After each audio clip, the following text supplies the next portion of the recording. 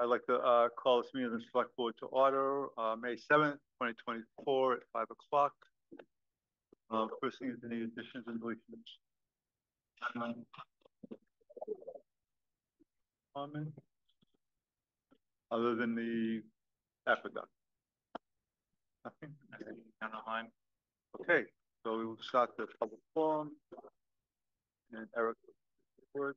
Yeah, I just want to start us off. Uh, so first, I want to thank everyone for coming tonight. Uh, we appreciate uh, all the attendance and participation. Um, uh, this forum is kind of for the public to get a sense of what the select board has done since the last public forum. Uh, we're going to turn over to Charlie Kimball in a second. Um, just two notes. One is we have a hard stop at 620. So we'll go up till 620. Then if we still have conversations, we have to stop at that point uh, for the annual uh, monthly trustees report. Um, the second, um, the conversation tonight uh, is not going to revolve around uh, the cost of the aqueduct acquisition or who will pay for it. Those conversations will come later. Uh, this public forum is set up more for a conversation of financials of the aqueduct and the infrastructure of the aqueduct, and that's what we're going to focus on tonight. Uh, so just make sure that's clear so everyone kind of is on the same page as we go forward. Uh, but with that, I'll turn over to Charlie Kimball, who has graciously offered to moderate this public forum once again. Well, thank you, Eric, and thank you to the select board for allowing me to participate in this way. Uh, I was here at the last forum that we had, and that was also a nice day outside. So thank you for coming back on another beautiful day. Um, so we've got a PowerPoint presentation prepared and to introduce different speakers that are going to be here. Uh, a few housekeeping notes. One, this is being recorded. Uh, so anything you say is going to be a matter of public record. Um, the second is it's a hybrid meeting. You'll see there are now, what, 15 people that are participating by Zoom. So we're going to try to manage it according to who's on Zoom and who's here. So when we get to questions, we're going to have to recognize who has a question on Zoom, who has a question here. We're going to try to limit questions at the end, to the end, and then go for three minutes apiece. I know people have a lot to say, um, but if you have a question or a comment, please try to limit it to that three minutes. Uh, so what we're going to do is we're going to hear from three different experts, but first let's get into the, let's go to the next. Yeah. Oh, the sign-in sheet. Yes, uh, two more things about, uh, there's a sign-up sheet in the back, so please sign up. Uh, who has that sign-up sheet? There we go. All right. And there are bathrooms that are located out in the hallway. All those on Zoom, I'm sure you know where the bathrooms are, wherever you are. Uh, so make sure you just avail yourself of them. Uh, okay, so is there anything else we need to uh, cover? Nope, okay. So let's jump right into it. So uh, why are we here? Mm -hmm. Oh, there we go. So the purpose of the meeting is really for the select board to share with you the information they have gone through to determine whether or not it makes sense for the town to purchase the Woodstock Aqueduct Company. So part of that is looking at the financials. Part of it's looking at the engineering reports. Uh, there's also other information the select board has looked at, so they want to share that information with you so that there's no secrets. You know exactly what's going on. All right, so that's the idea. And then you have an opportunity to ask questions before this comes before a vote, um, which will be later if the select board moves to that uh, part uh, later in the summer or in the fall, or that's a date yet to be determined. So let's go next one. Okay. So how did we get here? Uh, remember, the Woodstock Aqueduct, Aqueduct Company is a private entity that was formed in 1880, started servicing the town with water in 1887. Uh, they've been running the Aqueduct Company since then. It's uh, the Billings family is the ones who provided the upfront capital and has been managing that project since with other managers as well. So it's a private company that is owned by a number of shareholders. I think 34 is the last count could be 35, I don't know. So then in 2013, uh, the Vermont water supply rules deficiency were pointed out saying you don't have enough water pressure. And I think there are some former employees here that might be able to comment on it, but there was a 2000, in 2017, there was a major capital project for the West End Loop. And that was to connect water coming down from, uh, uh to go over onto Carlton Hill and uh, College Hill to provide enough water pressure to satisfy the deficiencies on that side of the river. Okay, that was done in 2017.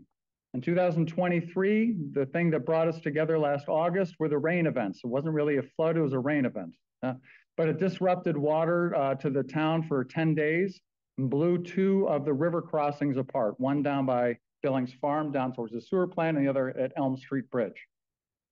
So, and then we had the public forum in August, and that was the Woodstock Aqueduct Company really presenting information to interested people about what's going on. You know, what were they doing to repair, and then what were the challenges facing the Woodstock Aqueduct Company going forward? And at that time, uh, Billings, the president of Woodstock Aqueduct Company, said, you know, we'd be interested in selling this to the town uh, for a reasonable price. So then in the Harvard Business School, a group of students from the Harvard Business School, I guess we'd call them a project team, was engaged. And they spent about three months really diving into the details of the operating of water system, what are the uh, costs of financing, and they made a presentation in November of 2023 to the select board. Uh, the Woodstock Water Working Group was formed in about September, October, and we met on a weekly basis. There was six of us. Uh, and then we delivered a report to the select board in December and then made a presentation to the uh, finance committee, the Woodstock Finance Committee, as well as the Woodstock Select Board, uh, recommending that the town move to acquire the water company. The select board entered into this letter of intent, which is not a commitment at that point. It is we need to investigate the advantages of purchasing the aqueduct company and possibly moving towards an acquisition right? I think I captured that right. Okay, um, so that was in February of 2024, and since then they've been reviewing information to uh, whether to justify the purchase or not. And then the Woodstock Aqueduct Company, as you know, on April 2nd, filed for a rate increase to pay for the improvements that they're forced to make in case the town does not purchase the Aqueduct Company uh, from the Aqueduct Company. All right, so they did make that rate application on April 2nd. And the public hearing, I had May 20th up there, but May 22nd. Anybody know? Anybody know? Okay, May 22nd. Let's go with that date. Okay. All right, so here are the main concerns that the select board has been trying to address and that is of concern. Um, you know, who has control over the water security for the people on the system and for the town? Who has control? Um, public safety, is there enough water pressure to put out fires that might come along the uh, from the hydrants. And right now that that's a concern. Uh, and if you talk to the fire chief, you'll find that out as well. Uh, can the staff of the town manage the public water system as it's constituted now? Uh, is the water system aligned with what the priorities are for the town plan? You want to make sure any successive ownership also is aligned with what you want to get done in the town. And then the affordability for ratepayers and taxpayers. The big question of who pays is not what we're going to talk about tonight. We don't have the answers to those questions.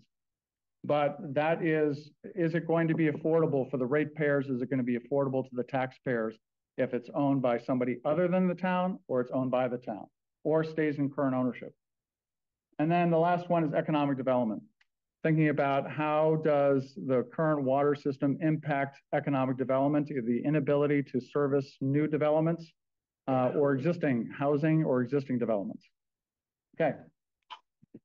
So with that, we're going to hear from three speakers.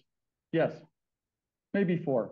All right, so the first, Gallagher Flynn and Company is a CPA firm out of Burlington. They're engaged to uh, review the financials of the Woodstock Aqueduct Company a respected firm, probably the largest CPA firm in Vermont. Um, and they, Tim Alb, Alb, Alb, Obby, Tim? All right, Obi, anyway. Obi. Oh. Tim Obi uh, is going to be here to talk about it. He's uh, meeting with us by Zoom. And then Craig Jewett is here from MSK Engineering. Uh, you might remember Craig from a previous meeting. Uh, and then also uh, William Nickerson uh, who you might recognize the last name. He has a father living in town uh, from uh, the, the state of Vermont, the Agency of Natural Resources.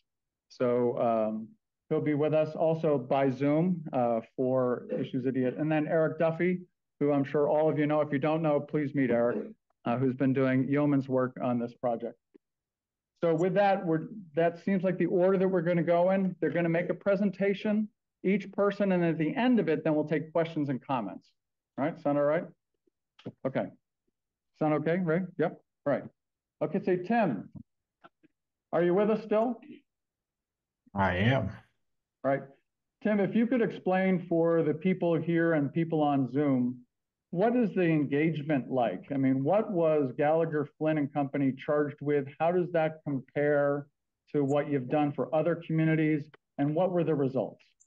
Yep. Um, yep. Um, so uh, Tim Obie, uh, I'm the managing director of the transaction advisory services practice at Gallagher Flynn out of South Burlington. Um, and this is our my team's kind of core work works on mergers and acquisitions and helping companies do financial due diligence. Um, so what we were engaged to do was to kind of review the historical financials. We looked at 22 and 23 of the aqueduct, um, really just looking at what's their financial position. Do we understand kind of how the financial operations of the company work? and um, generally just looking for any red flags that would pop up um, as it relates to kind of the financials. Um, so my team, and we don't focus just or specialize just in municipalities. We primarily do kind of private corporate um, M&A deals. Um, but again, it's just analyzing a business and looking at their financials and understanding kind of what the risks are um, and and what they tell us. Okay, so from there, can you give us a general overview of, of what you did find? Yep. Um, so effectively, what we were seeing and in our process was we got the financial information um, directly from the company, had full access to Jira, um, and kind of just had multiple conversations as we looked at the details. Um, effectively, what we're seeing is it's kind of a break even or a business that is kind of losing money when you kind of factor in kind of debt service and cash outflow on at least the 22, 23 periods that we're seeing. Um, so I think that's the biggest thing to note is just there's operating cash flow constraints of the company. Um, the rates of the company hadn't been increased since 2015. Obviously, there's a proposed rate increase now. Um, but with with that rate increase kind of being deferred over the years and costs kind of just continue to rise, um, there really doesn't leave any excess cash to kind of um, plan for the future or do more proactive maintenance. It's really on a reactive basis. And when a reaction needs to happen, they appear to need to scramble to kind of find debt financing and some way to fund it. Um, so what we're seeing is there's about $800,000 of debt on the balance sheet. Um, you can see in 23 with the flood events, there was emergency repairs needed. They needed to take out a line of credit to be able to fund that temporary fix. And then there's a larger project coming up for a permanent fix of about 600,000 that still has yet to be funded from my understanding. And the company really just doesn't have any cash flow to even one funded from operations. But if you're a bank, you're probably also not going to lend the company any money because they don't have enough cash flow to kind of service that debt going forward. Um, so those would be kind of the big watch outs or kind of the, the concerns. On a standalone basis, the company just doesn't generate enough cash flow to really sustainably um, invest in infrastructure and kind of make proactive repairs just in normal course of business. Um, then obviously there's the large, and we'll hear about it, of the engineering report of some large capital expenditures that are required to kind of meet the state requirements um, and efficiencies in the system. Um, that's a different thing. The company itself right now just really can't fund, doesn't have any excess to kind of even fund proactive just maintenance and improvement. Um, so that's kind of the big takeaways from it.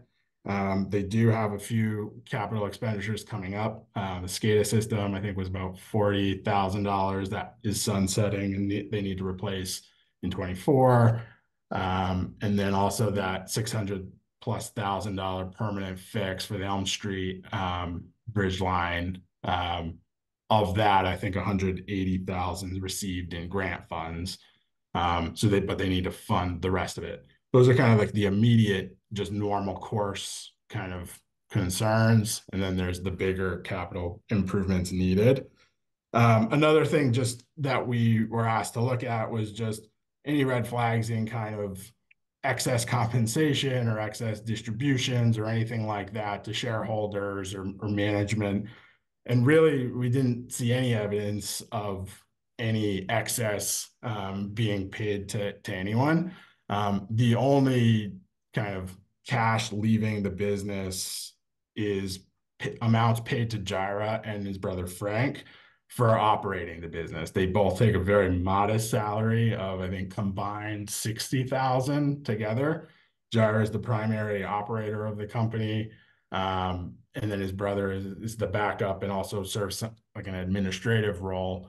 Um, but combined, they're looking at $60,000 together, um, which in my, I didn't do a compensation study or anything, but I mean, that just seems like a modest salary to be taking to be running kind of the the operations of a company. Um, I think he had noted the it when he and his brother retire, the intent would be they'd have to hire on a full time person to kind of run the business, and that might be one hundred twenty five thousand um, dollars. So that's kind of the comparable of they're probably taking an under market rate. Um, outside of those payments, um, there's a a nominal amount of rent paid to Jira's entity um, as they lease office space from his other business. Um, but again, that's like thousand dollars a month. Um, so it's not excessive. It would be in line with market rate to record or to rent an office space. Um, so really that's it um, from kind of the shareholder type cash out. Um, we looked at bank statements so we can kind of confirm the cash that came in and cash came out, reconciled that against the financial statements. So we're pretty confident that the cash that we're seeing is all reflected in the financial statements that we were looking at. We looked at payroll registers, kind of tied those out to the financial statements. So we have a good feel on kind of the ins and the outs of the cash um, that we don't think there's anything out there that is kind of outside of the scope of the information we were given. Um, so with that said, I mean, for a business to operate uh, a normal business, um, you would expect to be seeing a lot more. You'd you'd want to see a lot more cash coming down to the bottom line on your P and L, so that you're able to build up a capital reserve fund or have a more proactive maintenance infrastructure improvement plan process rather than always trying to react and find the funds when things pop up. But right now, under the kind of current structure with the rates that haven't been updated since 2015 um, and the, the expenses just around the business, um, it just doesn't generate uh, sufficient cash flow to really kind of sustain itself and improve itself uh, to any notable degree. Great, Tim. Is there, Hopefully that's helpful. that, that's very good. Is there anything else you want to add before we, uh, we go on to the next speaker? Because we'll have questions for you at the end. Is that all right? Uh, that's fine. I think that's a good overview from my end, and then we can fill in the holes with as questions pop up on what people are curious about. We certainly looked at a good amount of info. Um, so happy to get questions at the end. Terrific. Thank you. Thank you. And for those of you that came late, either in person or online, um, so we have two more speakers. We're going to hear from them, and then we're going to take questions after that. Uh, the bathrooms are in the hallway, or they're in your house somewhere. Okay. So thank you, Tim. And next we're going to have Craig Jewett from MSK Engineering. Um, and Tim is here. Uh, what's your name? Craig. Craig uh, is here to tell us about the preliminary engineering report, which was completed and approved, I think, December. Is that right? Yes. December. And uh, that information, the whole engineering report, will be made available on the town website. So Craig? I'm just going to stand up so no one has to look at the back of my head while I talk. Um, so my name is Craig Jewett with MSK Engineer. Um, we were hired by the Aqueduct. Uh, you need to hold this. Sorry, you need to hold that. Sorry. Can everybody hear me okay now? Yeah. Um, so we were hired by the Aqueduct to perform a preliminary engineering study of the water system specific to the hydraulic conditions during fire flow events. Uh, the, the concern from DEC is that the hydraulic conditions in the water system during a uh, fire event are substandard and could cause potential contamination issues in the water system. So while there is information about the water system as a whole, uh, the document is not an overview or a broad look at the water system as a whole. It's specific to hydraulic conditions during fire flow events. Um, so we reviewed uh, the system, performed um, some fire flow uh, testing, uh, flowed some hydrants to get some data related to that, and reviewed the hydraulic conditions of the water system. Um, just to give a little bit of background, uh, wells are over on this side of town as you head out uh, on uh, Route 12. Storage tank is on the opposite side of town, up Cox District Road, uh, as you go up uh, Cox District Road. So uh, sources on one side of the system, well, uh, tank on the other. The sources pump directly into the water system uh, while also serving the water storage tank. So the tank floats on the system and the sources meet the demand on the system with the help of the tank. Under normal operation, a water system would ideally pump to a tank, and that tank would then meet the demand of the system and not rely on the sources to be pumping to help meet that demand. Um, so when we reviewed the system, we reviewed it under two conditions with the well pumps on and with the well pumps off. Uh, because it does change some of the hydraulic conditions of the system. And at night, typically the wells are not running. So we wanted to look at both of those uh, conditions. And so we reviewed uh, the system, did a hydraulic model, uh, and reviewed it versus the minimum requirements in the water supply rule, but also recommendations of the insurance companies related to typical fire flows that they would want to see for the types of densities that the town has. Um, that number is around 3,000 gallons per minute in the village. Um, the minimum standard for the state is 500 gallons a minute. So kind of completely different fire flow scenarios. Obviously, when the fire department cranks on to a hydrant, they want to get as much water as they can, regardless of where they where they are. What the report identified is that indeed there is a hydraulic condition that could cause contamination under certain scenarios, or enough so that it is concerning and it doesn't meet minimum standards. That during a fire flow, the system cannot maintain a minimum of 20 pounds of pressure throughout the distribution system. And essentially what they're trying to prevent is a vacuum condition where the person who's at the highest part of the system will have the lowest pressure. When a fire condition happens, that individual is the first person who's going to receive that low pressure. And do you create a vacuum where now potentially something gets sucked into the water system? Think about uh, fuel tanks and, and stuff of that, uh, hot water heaters, that sort of stuff. Um, we've come a long way since then, but that's in general kind of the concern is that you're depressurizing the system and you're opening up the distribution system for potential contaminants to intrude into the water system. So once that was identified and confirmed, what we then turned and looked to do was what are the alternatives that would help address this issue? Um, and so we looked at a couple of different options. One was replacing the, transmission main from Cox District Road down to Route 4 and continuing that uh, change in transmission line along Route 4 uh, until you get to the bridge. That was looked at as one option to upsize the line. Another option was to look at tank sightings for a new tank to be built on the system. Uh, the tank that exists on the system right now is is on the older side of things. May will need to be replaced at some point in time. So can we kill two birds with one stone? Find a tank site that fixes the issue, and if it happens to replace the other tank, or we can do something different with it in the future, there's more options available. So the report identified four sites that met the hydraulic conditions necessary to solve the problem. So there were four landowners who were identified strictly based on topography, the height of the tank, and what that pressure will provide for the system. There were four spots that were looked at. They, we did not speak to any landowners related to this. So there's, there's been no engagement with the landowners related to this. But essentially, we identified four potential locations where a tank could be sited.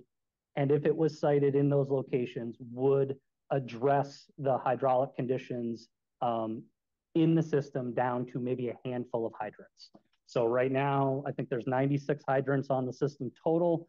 Um, we would potentially with, with what I would call the lowest of the tank sites available or the lowest potential tank sites, that would get us down to a handful of hydrants that would still be deficient.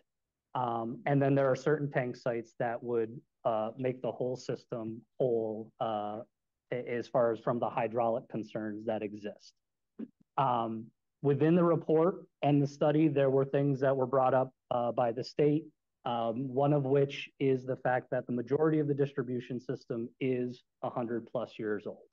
Um, and when and if more hydrant flow is available, we're moving more water through those lines, you're increasing the velocity, there is a potential that you're going to break more mains, you're going to break more things. So while the tank solves the hydraulic issue, it should not be viewed by anybody to say, well, that's good, we did a good job, we can walk away. There are future things that need to be considered related to the water system. Those are more long range planning discussions. That's not what's in the report. The report is specific to what immediately fixes the concern that the state has. The long term and long range discussions are something different. And when you do get the report or you get the opportunity to look at the report, I apologize that any of you had to actually read that. Uh, just from the standpoint of it's 40 some odd pages of text and it's it's not really, it, it's bedtime reading, truth be told. Um, there's two tables at the end, table 40 and table 41.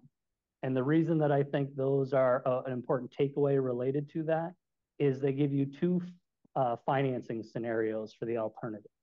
One is if the town owns it and they have the ability to access 2% loans from the state of Vermont. The other scenario is assuming fair market interest rates right now, assuming that the aqueduct could actually get those rates from a bank, which Gallagher Flynn has indicated may be a difficult hill for them to climb. At 7% versus 2%, the cost to the users doubles. So it's just an important takeaway to say that some of this discussion is some of the things that with the town's ownership of this, you have more opportunity to access financing that is much more advantageous to the end users. So numbers are the numbers. I will answer any questions that I can from a technical standpoint. I think that's the bigger takeaway is to say the aqueduct does not have access to money that the town would have access to at a much more favorable rate. And with inflation where it is, it's a lot better than it was even two or three years ago. Um, so hopefully uh, I've given you guys a baseline. If there's any questions, happy to answer any questions. Kirk, before we move on. Um, um, um, it's not muted online. There are there are three reservoirs that used to feed the water system. Cox District, Bondell Reservoir, and also Carlton Hill. They do not, they're not connected to the water system right now providing water. Is that correct? That is correct. So, and then if that was necessary as a backup water supply, what would have to happen? So if we were to have a scenario where we were looking at the reservoirs as a source for the water system, um, the state of Vermont does not allow emergency sources. You would have to permit that source as a fully compliant public water source through the state of Vermont. So there would be certain um, certain standards that we would have to meet related to that. There would be certain set of treatment that we need would need to provide, but that is permitted throughout the state. There are many state uh, municipalities that have surface water systems my comment related to that would be is don't give up any opportunities that you have for a potential source because you never know um, where you're going to end up. Uh, I just finished a study this last year for the village of Newbury. They spent a bunch of money 15 years ago getting off of their reservoir, had some other sources. Those sources have since dried up. We had to go back through the process of getting the reservoir reconnected. to the system as a source. So um, those are sources. They're not high quality sources. There are hoops that would need to be jumped through, but with climate change being what it is and droughts seemingly becoming more and more prevalent, having that as an opportunity or an option to you down the road, there is value uh, to those assets, even though they're not currently connected to the water system. Great, thank you. That's Craig Jewett from MSK Engineering. He's going to be back with us to answer questions, more specific questions you have. And next on the hit parade is uh, William Nickerson. William, are you with us? I am here. Can you hear me? Yes. So Yeah, so William, just state, what, what do you do? I am an engineer for the um, the Department of Environmental Conservation, Drinking Water and Groundwater Protection Division. Um, and in my group of engineers, we review um, reports like Craig created, created uh, preliminary engineering reports. We permit improvements to public drinking water systems. So any water main replacement, water main extension, storage tank construction, well, well or other source connection and treatment. We review design drawings and issue permits to allow the, those uh, plans to be constructed. Um, we also uh, work with our funding agency, which is called the Water Investment Division. It's another division in DEC, and they administer um, funding through EPA's Drinking Water State Revolving Fund. And we provide um, we provide um, engineering service agreement technical overview, so scopes when a when a public water system that's receiving funding through that source contracts with a with an engineer, we review the scope and provide approval on the, the technical aspects of the scope. Um, so, and then we also provide technical assistance directly to water systems. So uh, will help investigate um, issues with source water quality or problems that are happening with treatment or other issues that might be occurring in the distribution system. We work, the Drinking Water Groundwater Protection Division has other sections that my engineering team works with closely. There's an operations section that completes sanitary surveys of all the public water systems. There's a compliance section that reviews all of the monitoring data that is taken in the watering in, in the water system um, and make sure that the water quality is staying in compliance with the Safe Drinking Water Act and the Vermont um, water supply rule. And also that customers are notified whenever the law says they need to be notified. For instance, if there is a water main depressurization, as Craig was talking about, then a a boil water notice would need to be issued and our compliance group makes sure that those are issued and um, as well as all the other water quality monitoring that occurs. Um, but it, my group specifically works mostly with engineering consultants like Craig and water system owners like uh, a fire district board or a town a municipal town board um, or a private owner um, to figure out how the different technical alternatives for addressing some deficiency or uh, improvement plan can meet the water supply rule. So, and you reviewed the report from Otter Creek Engineering, uh, and then your department is in char charge of kind of giving its blessing as to, uh, right, in terms of this is technically and factually correct. The recommendations are sound. So can you tell us what your review then resulted in? So in in our group, um, this preliminary engineering report was reviewed by Allison Murphy, who's one of our engineers. Um, and we review it, we review preliminary engineering engineering reports um, with kind of two references, the water supply rule and all of the design standards, water quality requirements, um, and operational requirements that are included in the rule. And then we also review it against a, um, a planning report format, which is a, it's a a format and a guidance that's published by USDA Rural Development. And that ensures that the planning reports include all of the um, elements that are necessary to make an engineering decision. Um, there's a need statement, there's a description of the existing facilities, there's a section where you talk about the feasible alternatives that can address the need, and then there's a, a life cycle cost analysis, and then a, a section where you compare the costs and other factors, non-monetary factors, and decide you ideally you would decide what um, solution you want to choose as a result or or what project you might want to move forward with. So we use those two references to review these.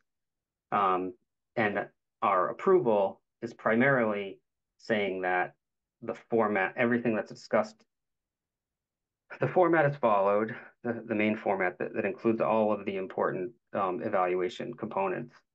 And then also that the recommended alternatives meet the water supply rule. So in, in your opinion, then the, the MSK, I'm sorry, the Otter Creek Engineering Report does do that for the select board's benefit. I mean, so it's not like it has to be reviewed then by another engineering firm. Is that correct? Um, yes, according to Allison's review, this report meets those those two standards that we use. It meets the the recommended alternative meets the water supply rule, um, and follows the the correct format and includes the components that it needs to include. Did you find anything in your review that uh, is more than what was recommended by Otter Creek Engineering? So Allison um, issued a letter uh, along with our approval. It's kind of like a document we use to um, come back to the project. So when a when a project moves along to its next stage of life, which is ideally a, a some improvement, we it usually takes a few years. So we try and document what we think is important um, to remember about the about what was said in the PER, and also what additional work might be useful to pursue. Um, so we have a searchable database where all of our, well, the majority of our records, water system related records can be searched by the water system ID number. Um, and that with a letter can be found there. And I was going to drop the, the address for that in the chat. I don't know how, if anybody can see it, but um, you can. That's getting fancy for us. Yeah. um, if you find it online, you can search the water system ID, which is um, VT00005343. Um, uh, but this letter um, basically says that it, in order to, the recommended alternative would be a storage tank, is basically what Craig just described to address the hydraulic deficiencies. There would be, need to be additional cost analysis once an actual property was found to be feasible. Um, so the report kind of says the recommended alternative meets the water supply rule, but this this main part about actually locating a place that it can go still needs to be done. Um, and then there's a bunch of other comments in here that are just for further consideration. As Craig said, there's um, it looks like something like over half of the water system is beyond its useful life. Um, and that all of the hydrants are deficient. So there's there Allison's just kind of summarized the highlights uh, for what will be relevant to the division staff who will be working with the water system. Okay. Before we uh, then close it out and we go to Eric Duffy, is there anything else that we should hear from you, uh, William?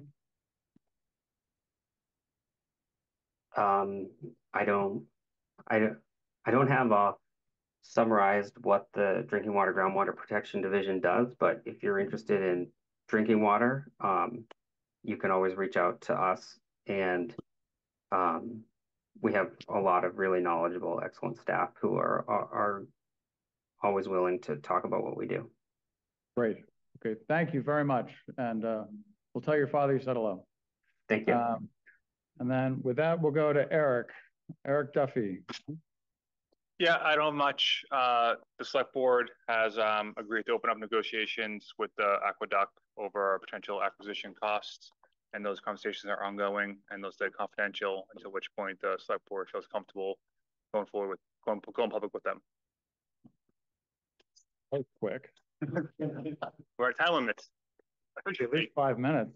Um, All right, so anything from the select board before we open it up to questions? Do you want of our panel?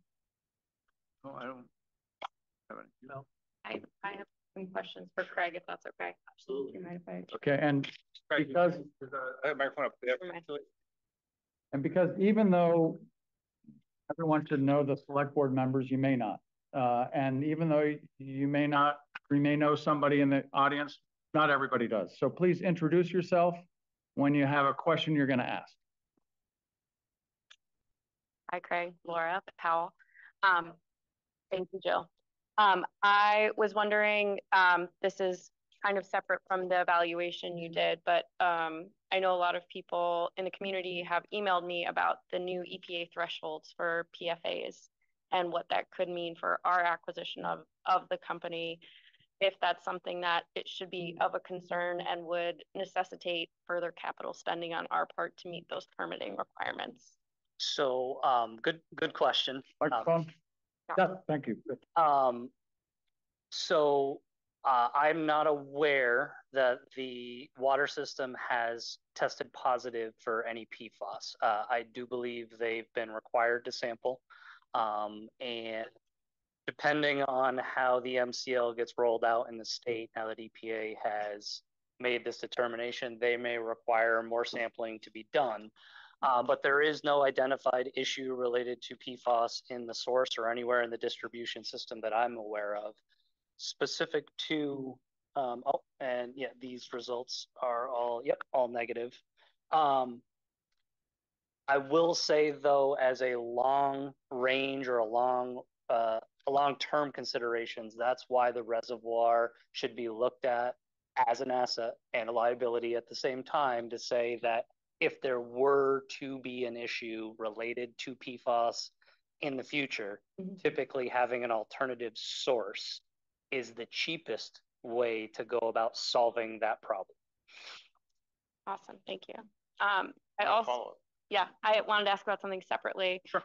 Which is that, um, I think per state law, the water company has to publish their lead line inventories this October. Yes. And I was wondering if through the course of your investigation, like you've seen those inventories or if those would be made available to the town, like in the process of negotiation? Sorry. Um, so the question was related to the, the service line inventories at all public water systems in the, in the country uh, need to um, complete by the middle of October of this year. Um, so it is a requirement that it be shared with the public.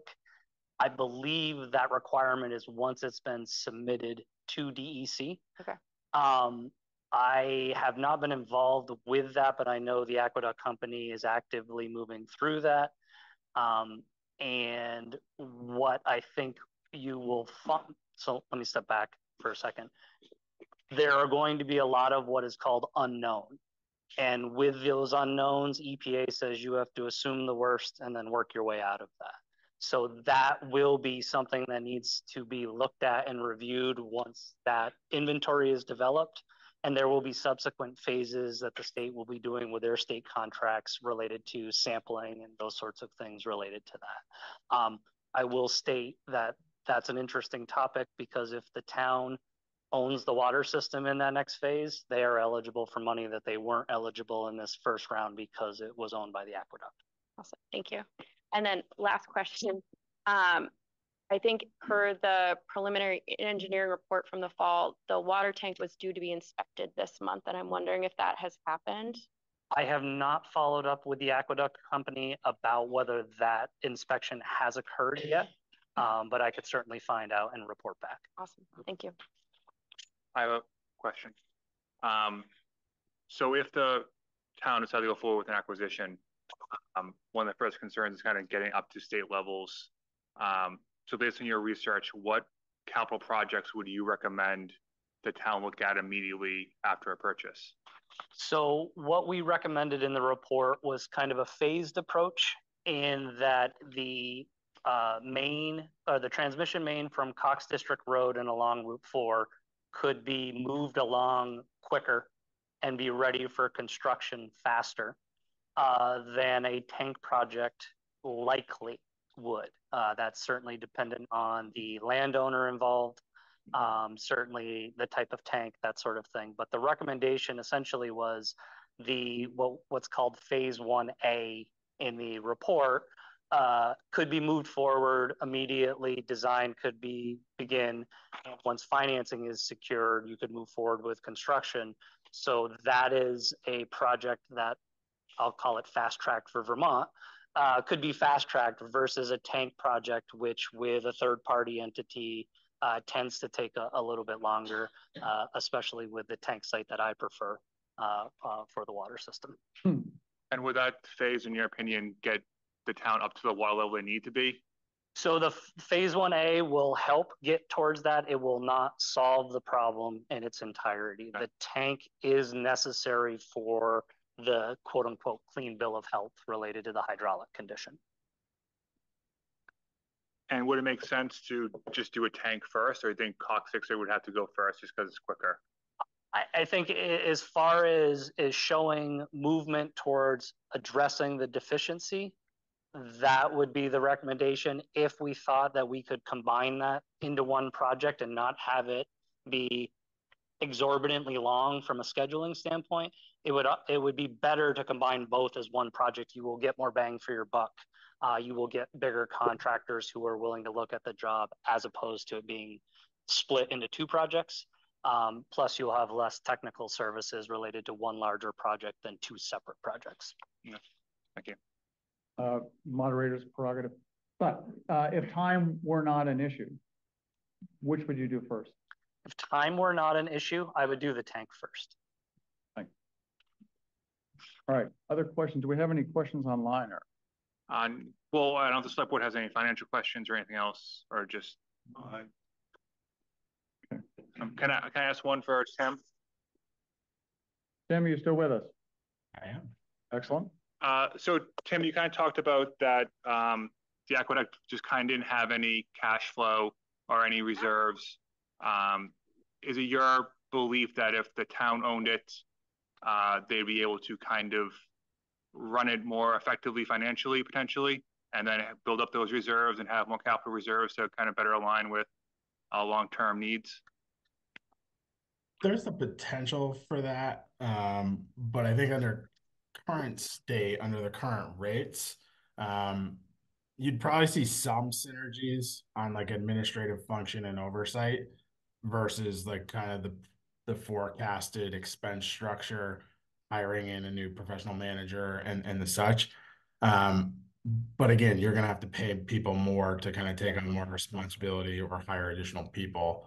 So I think current state, if you if the town just took it over, I don't know if there's a significant cost savings to run it as it is now by the town.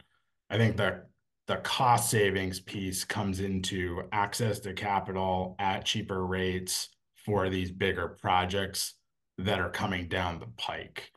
Um, as it stands now, I mean, ultimately the town would still need to have enough funding to kind of handle normal course of operations, right? Whereas over the last two years, for instance, twenty-two had four hundred sixty thousand of revenue, twenty-three was about four hundred and fifty thousand.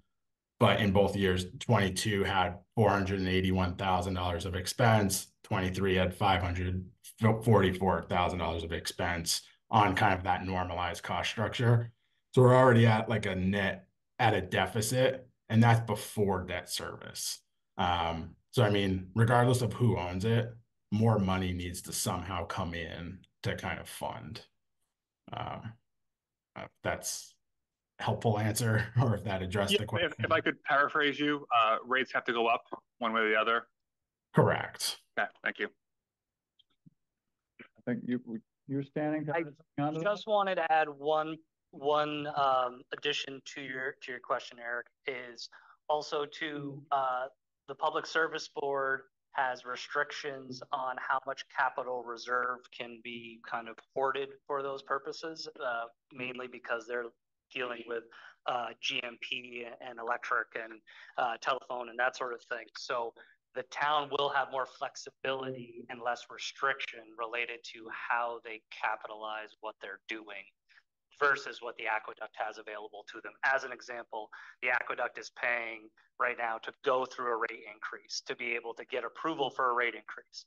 If the town were in control of that, that process does not exist. There is no one telling you that you can't charge the rate that you've determined or whatever you guys want to do with the water system. So just, just a point of clarification or addition to that. Great, thank you. Now we have questions? Yes, remember, if you can repeat your name, that would be wonderful. And Oh, I'm sorry. if you could speak, uh, yeah, Oh, I don't need one. Um, I'm Susie Stoles in Woodstock. So, um, totally get it that you say you need, we need to have a, um, an aqueduct as a potential source. But we have three aqueducts, you said. So can we sell one of them? Reservoir, sorry. Uh, can we sell one of them and use to a developer, get some money to pay off some of this debt? So I speak to that because I don't know the specifics of the reservoir. My, my, all of this was related to the water system, looking at the reservoirs, not part of, so answer your question succinctly or correctly because I don't have specifics to the various sides. I'm Eric, uh, so I was wondering. general manager for thirty-three years, the Aqueduct Company. Um, we sold Carlton Reservoir, it's no longer. And, and we don't. So it's, it's on the other side of the, uh, of Route Four. And, um, it did not go through the filter plant. And it's at a higher elevation, so we needed pressure reducers on it too. So it became more of a liability than an asset. So what we did is we traded that, the sale of that property for the Atwood property, which we drilled another well at. Correct, correct. And the Blondell is connected to the Cox. So it's basically two in, in series. So the Cox Reservoir is where the piping actually goes to. That's a six million gallon reservoir. The Blondell up the road is a 24 million gallon reservoir, and it connects back to the Cox by ways of a stream. Does that answer your question? thank you. Cool. All right. Try to- Sure. sometimes people kind of line up behind the podium. Oh, that'd be Yeah. good. Yeah, yeah. Yeah, if people with questions line up behind the podium, that's a good idea. You've done this before. Uh, no one line yet. Is there a microphone? Yes, okay, perfect. All right, great. And just to remember, uh, comments, and questions, three minutes if possible, and then moving it on to other people so that we can hear from as many people as possible. Jill. Um, I'm Jill Davis. I live in the village. So I, I don't know who this question is directed at, but I understand that the current conditions of the system mean that no housing permits are being given. And I wonder what the timing is. How, what do we have to do to be able to uh, start re giving housing permits again? Do you, do you want to have Willie answer that question? Willie can start, uh, I'll, I'll add, add necessary. Mr. Nickerson, do you have an answer for that question? Did you hear it? I heard the uh, question, what needs to be done in order to uh, allow new connections to the water system? Yes. And the second part of it is, and how long will that take? I do not know the answer to that question off the top of my head. Um, I could take a few minutes and look in my records and see if there's an answer that I can find. Um, and then I'll, uh, I'll raise my hand if I do, once I've done that, or we could see if Craig knows. I'll, I'll answer the, the second question first. Uh, timing wise, uh, you're looking at multiple years from when authorization to move forward with these improvements starts. So, uh, essentially designing those, getting that all approved by the state of Vermont and putting in funding applications and the such. So typically from design to finished construction, it's two to three years at a minimum. So it's two to three years before any housing can be allowed in this town. I do not know that answer definitively, and the reason that Willie is is not eh, the reason that Willie doesn't know the answer to that question is because we did come up with an interim policy related to the hydraulic condition. So when the fire department uses a hydrant, they have to communicate with the aqueduct.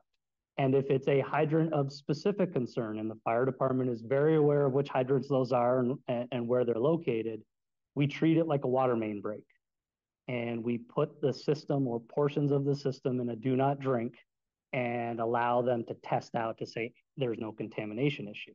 Now, I could make an argument that that means that we are adequately protecting the public and making new connections so long as they don't necessarily necessarily increase fire flow conditions, which I don't think they would unless it was something substantial, um, could be done under certain circumstances. So I know there's been talk about a, a moratorium about connections. I don't know that that is actually hard and fast what the water supply division has actually said. So I guess, Willie, I'll put that back to you and to say, if there's a moratorium, I'm not exactly 100% uh, that that's the case. Um, I don't believe that you guys have put a moratorium on connections, um, but I, I could be wrong. We'll give uh, Willie Bennett, uh, you, you want to get back to us when you have a moment? Yeah, I'll uh, right. I'll raise my hand if I when I okay. see if I can find an answer. So I'm going to leave the question then, and please could we have an answer? Is there a moratorium on new houses being connected to the water system? And if there is, how long, how much money do we have to spend, and how long will it take to uh, get rid of that moratorium? Thank you. Point will take it. Come on up to Hi, I'm Roger Logan. I'm live in Woodstock Village. Um, I have a couple of questions. I'll ask them both at once, and you can whomever feels competent to answer. Um, is there since since the the kind of biggest identified hydraulic issue, I think you called it, um, is the sudden surge of use with a fire hydrant. Is there any way to segregate the potable water system from the fire hydrant system that's not overly cost burdensome? No. Okay. All right. All right. Well, that's easy. I mean, being a nerd, I might want to know the answer. Explain, don't explain it. No, you don't want to do it. Um, um, the other question is, I don't know who can answer this. Um, but when you're talking about three different sites for tanks and you've specked out what would be the ideal sites, has anybody done any kind of guesstimates as to what the cost of acquiring that land would be? So we haven't looked at land cost. What we what we did was we took um, the the sites and estimated a type of tank. Um, what Willie was mentioning earlier is that may not necessarily be the best type of tank for that given location. So of the four tank sites that we're looking at uh, in kind of descending order, um, the primary site would be right in right at Billings Farm uh, in the National Forest, right along the carriage trails off to the side. That would be the ideal spot for a tank because it would be before majority of the demand of the system. So we get back to what we were saying before, wells, tank, demand. That gets you the most bang for your buck because you get that water in front of all your demand. The other, there is one other option closer to the wells that would also have a similar impact to the water system, being able to put the, the storage in front of the demand. Um, but that site and the access to that site, in my just reviewing it and looking at it, is is not as ideal uh, and certainly would be more costly. And then there are two other tank sites, uh, one of which I it works on paper. I don't see how it would ever actually work in reality, but it, it, it is an option. So, so just to follow up then, I, I you have probably some idea of how much actually constructing the tanks and the infrastructure, but we haven't looked at all at the cost of acquiring the land. Correct, because okay. that's a specific negotiation if a landowner is interested. So what we've said to the aqueduct is we'll have conversations with these landowners and see who is interested because if they're not interested then it just gets eliminated as an option and start working towards that end towards what you're talking about yes okay great thank you i'm going to Carrie online yeah Carrie before we move on to our next uh, question in the audience we have uh, Carrie Cole. Carrie, go ahead with your question. Carrie Cole, Select Board. I live in the Village of Woodstock. I'm just asking this so that it will be asked. Theoretically, could one just pull all the hydrants and rely on um, fire truck tanks and move that to the bottom of the priority list? So um, I'll take this in, in two parts. Um, if if the aqueduct wanted to eliminate the deficiency in the quickest manner possible with the least amount of capital involved, they could pull all the hydrants. Um, politically and life safety wise, that's a completely different conversation. So to answer your question on the financial side, yes, they could. That would be the cheapest way to address the deficiency that the water system currently has. Um, I'm not recommending that option. I don't think you'll find too many people who would. That being said, a private entity who buys the aqueduct and comes in would not be restricted from doing so. So that is something to keep in mind related to this, this conversation. Um, it will solve the problem. It will be the cheapest way to do it, and it will not be in the best interest of the village and the town, in my opinion, if that were to occur.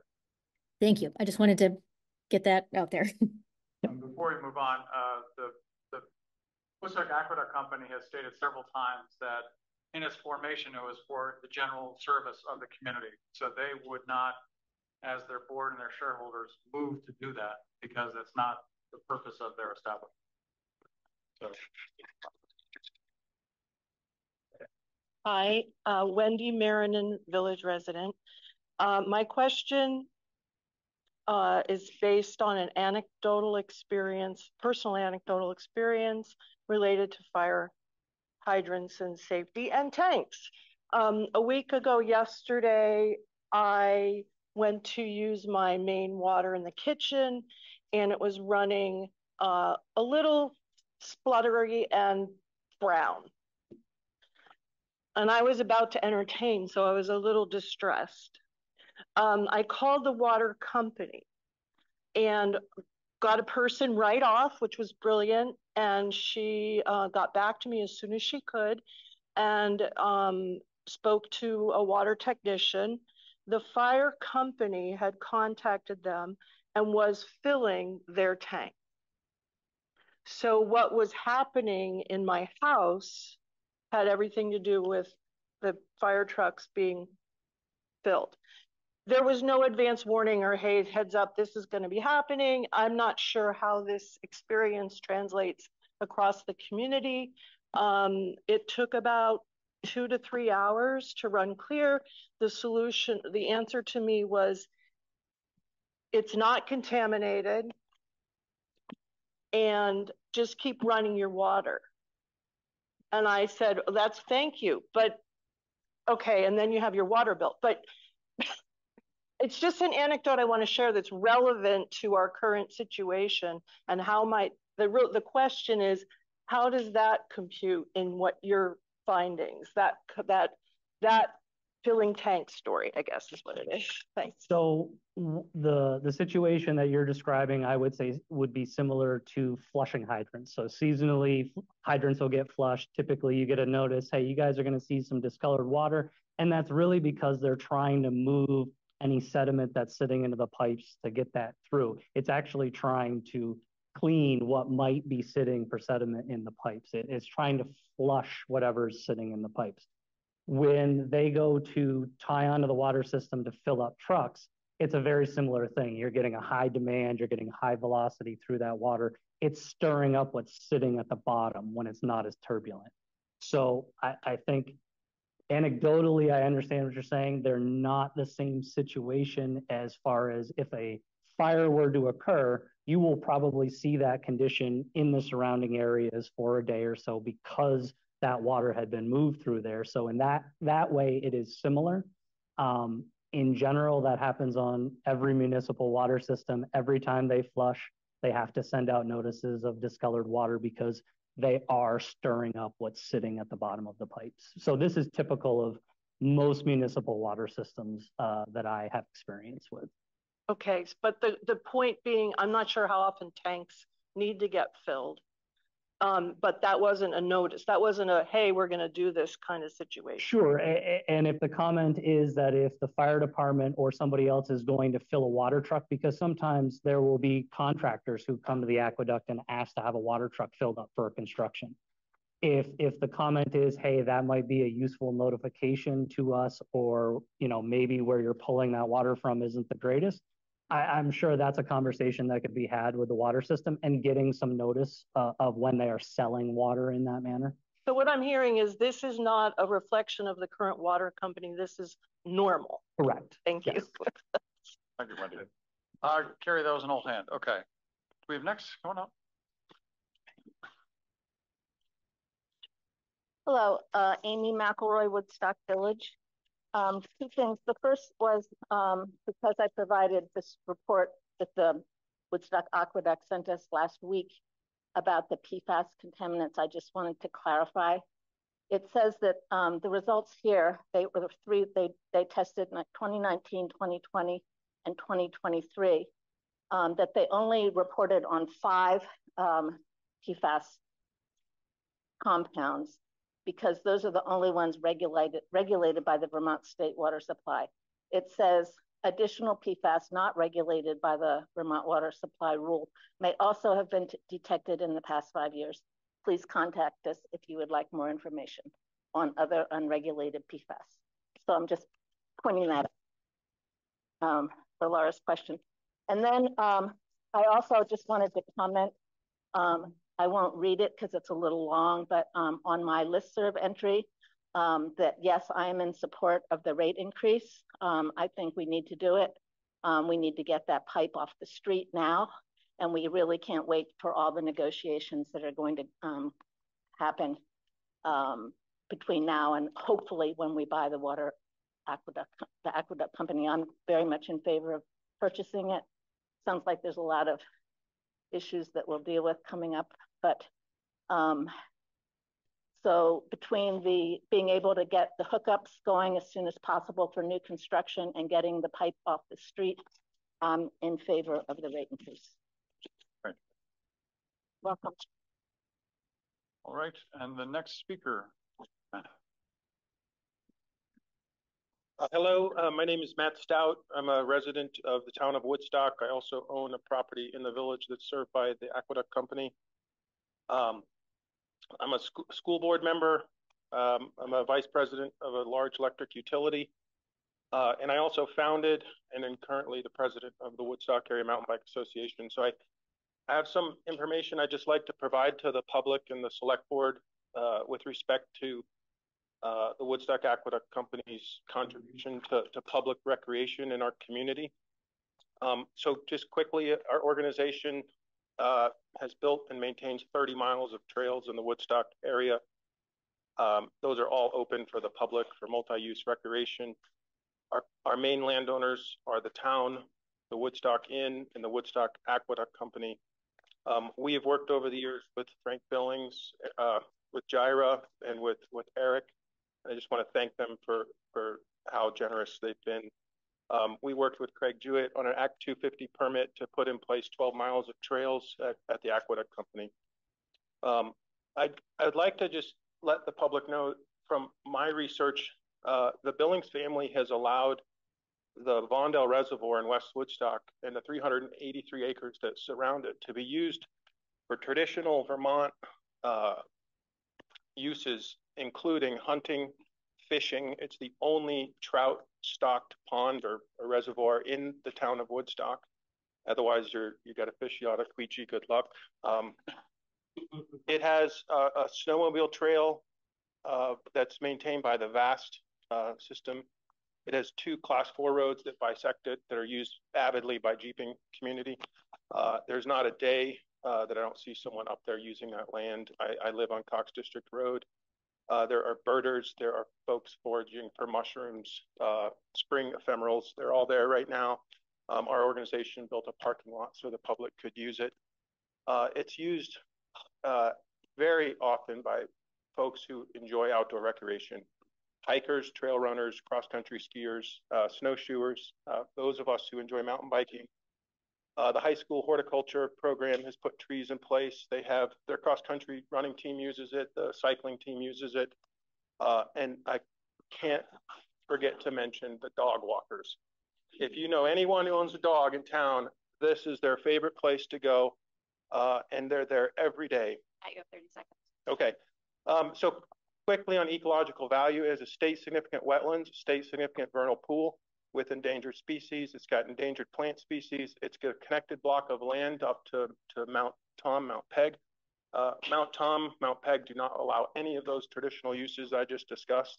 So it's very unique in what it provides for Woodstock. So our our position uh, you just is, finish up. Yeah, our position is we'd like to see that land protected with an easement, and and the Woodstock Aqueduct Company is willing uh, to do that.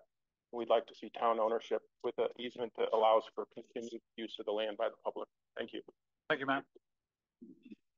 Okay, nothing there. Come on up.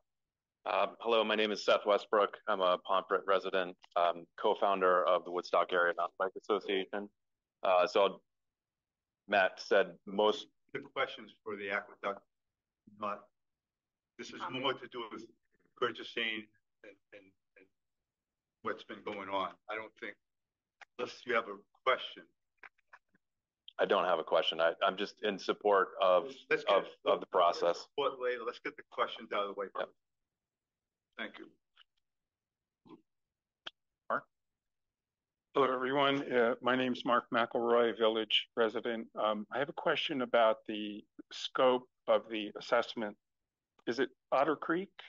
It, it, was. I, I, changed employment at the end of the year. Okay. Well, um, Craig was was very clear about what the scope of his assessment was, what he was asked to do relative to the current deficient condition having to do with fire hydrants. But my question is, what about the rest of the analysis that presumably uh, should come into play during the course of due diligence in a situation like this? What about the things that fell outside of your scope having to do with the, um, you know, assessing uh, the state of the the system, the infrastructure, um, in ways that could help to indicate what sort of other potential deficient conditions might come up in the future.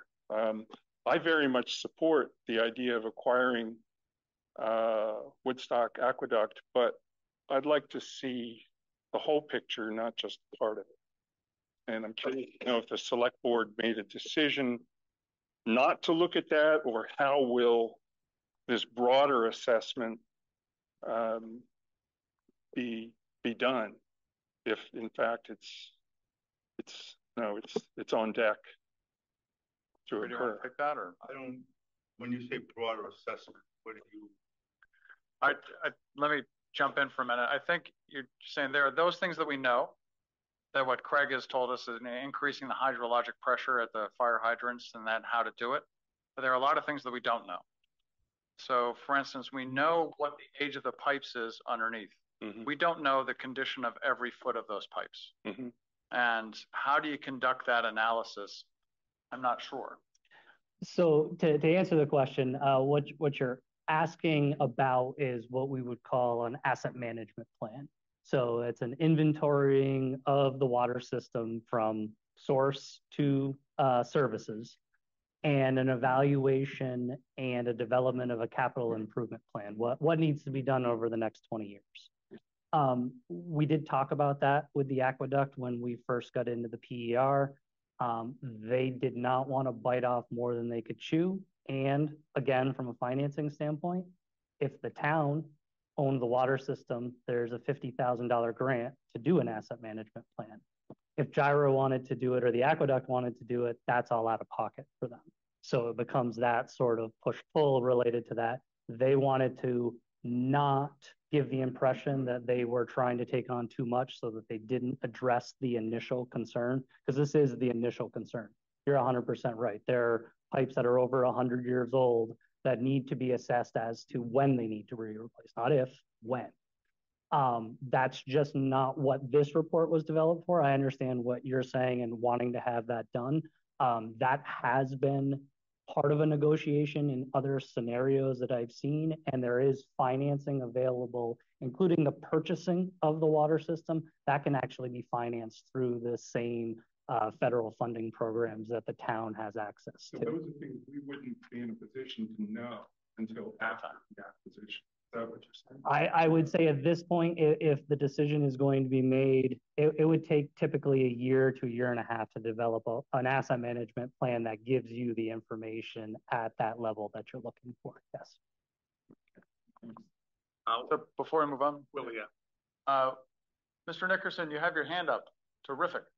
Yes, well, I don't know if my answer is going to be satisfactory, but I have found uh, two references in our files that the um, water system has been told that it is not permitted to expand because it needs to demonstrate adequate hydraulic capacity. Um, both are from before the PER was approved, and neither say specifically uh, what the consideration for um, requiring that that restriction are. Um, so I can only speculate as to the, the specific reason, but it is clearly related to the hydraulic capacity of the system, which is the deficiencies associated with the fire hydrants. Um, and typic typically when we have fire hydrants in a water system that um, depressurize the system when they're used, we require those hydrants to be converted to a flushing hydrant or removed from the system. And I and the in this case, it um, all but one hydrant in the system. So my note, the notes I'm looking at say 95 of the hydrants are deficient. So removing them or taking them offline um, may not be feasible, and that that's probably likely the reason for the the restriction on additional connections. Um, but I have not yet found when the the, the letter uh, where that was communicated to the water system. So I'll have to do additional digging to get the complete answer on that question. That would be very helpful. So we have one last question. Graham, you're going to be the last question asked tonight. Fantastic. Congratulations. Please state your name. I'm Graham Hankey, my wife, and I live in Woodstock Village. I'm an Aqueduct customer, and uh, I support acquisition of the company by the town. Um, I support rolling uh, control of that acreage around the reservoir by the town. I think that's a silver lining in this otherwise difficult situation. Um, my concern, I guess, as I look out, is, and this was a bullet on your second slide, I think, the town's capacity to manage this going forward if the transaction is successful. And you know, I think the town has struggled with managing infrastructure for quite a long time. I think the the current government, the current board is doing well, uh, but that's that's going to be a Herculean task to maximize the benefit of public control. And uh, so, I would. My question is, what are your thoughts on that? And ha has have you all been doing some thinking on how you can buttress your uh, yeah, in this process, we talked to a few other towns who purchased prior, prior water companies. And what we found by most of them was they were able to wrap in the water system into the sewer system with the same staff. Uh, most recent, they had a staff of three in the sewer and they bought a water company and moved it in. We have a staff of three. We've talked to them. They're comfortable with that process. Um, legally, if we were to acquire that uh, aqueduct company, we need someone with a water license uh, you can never get that until you work on the water for a year. So at bare minimum, we have to take on some aqueduct staff for the first year as our guys got training, got licensed. One suggestion I would leave you with, uh, considering a volunteer board of directors or some other entity that could provide help on the strategic long-term side, maybe also the pursuit of grants and public funds. Uh, again, that I think it's going to be tough to really leverage that benefit that public ownership creates. And there's a lot of talent in town here that probably would be willing to step up and uh, participate in something like that. on behalf of the select board, I'd like to thank you for volunteering.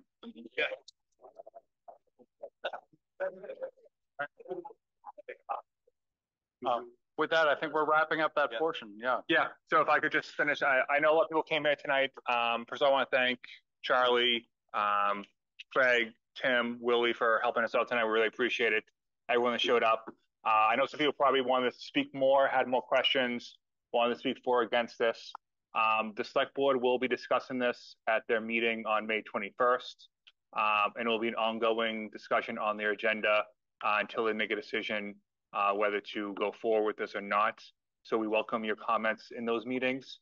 Uh, you can also reach out to myself or any select board member via email uh, to express uh, your feelings on it as we go forward. That being, Question. Well, I do have a question. Uh, this phone was in the restroom. Anyone? Do you recognize this phone? Anyone? I mean, all right, so, so, uh, I like the motion to adjourn. So moved. So, All those in favor? Aye. Meeting- Aye. You're welcome to come out.